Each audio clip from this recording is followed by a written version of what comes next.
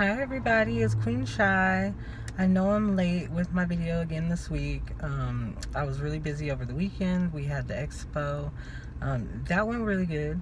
Uh, we sold some paintings and we networked with some other artists and we met some people and potential clients and um, it went really well. Um, I did get a, a little bit of footage again um, but my problem lately has been that um, the app that I'm using for my YouTube videos is just not working out for me. It's not doing what I want it to do.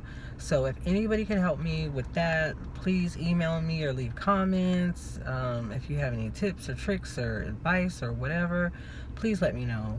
It would make my life so much easier. Um, over the next month or so, I'll be getting ready for some juried shows that I want to enter, and uh, First Friday with my gallery, and then um, the next July expo. So I don't know if I'll be um, I'll be doing my YouTube videos for the next few weeks or not. If I can't get this editing thing figured out, um, so we'll just we'll keep our fingers crossed on that one. I don't know but it's starting to cause me a little bit of stress.